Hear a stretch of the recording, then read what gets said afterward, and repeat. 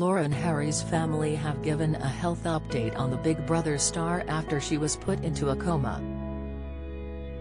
The reality TV personality underwent had to have brain surgery back in April after falling ill with a mystery illness. She was then put into an induced coma earlier this week following a seizure.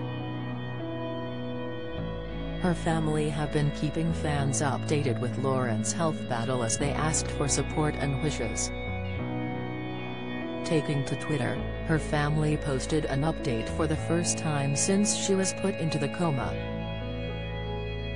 Lauren could be seen drawing a picture in a hospital bed as the caption read, Lauren was woken after her induced coma, she still has painful seizures which cause her whole body to shake uncontrollably. She is unable to walk and her feet are in pain. The only thing keeping her going at the moment is you, her fans and her painting. Doctors are still unable to diagnose what's causing any of this, they are testing different medications to help. Thank you all for keeping her in your thoughts. She loves you all. Lauren was flooded with support from her followers as one person wrote, Lauren. Keep going you can do this. One day this fight will be a distant memory and you'll understand the pride we have in you 20 take each day as it comes. I've watched Lauren's journey from her childhood. She's a very special unique person. We need more people like her in this world. Tell her to keep being her own true self wishing her a steady recovery and love to her loved ones, added another. Someone else commented, Lauren please get strength from our messages, I've followed your journey from the start and you've always been such a force of nature and overcome so many hurdles of which this is the latest you will jump over.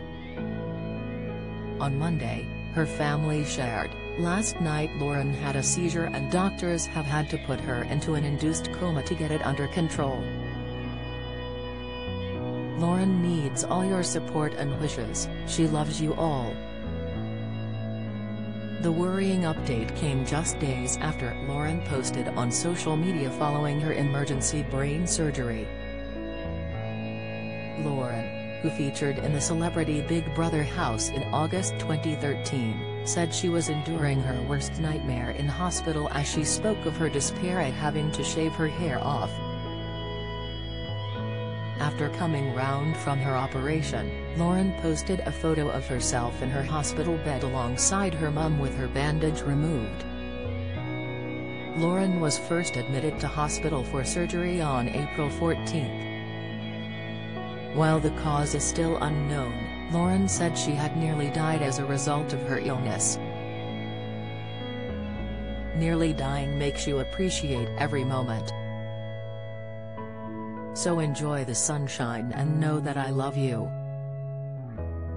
Light, love and peace, she told fans. Lauren's mom Katie, who has been keeping fans updated, said medical staff had been stumped by Lauren's illness. Lauren found fame as a child antiques expert called James, who appeared on the Antiques Roadshow and Wogan, before undergoing gender reassignment surgery in 2001.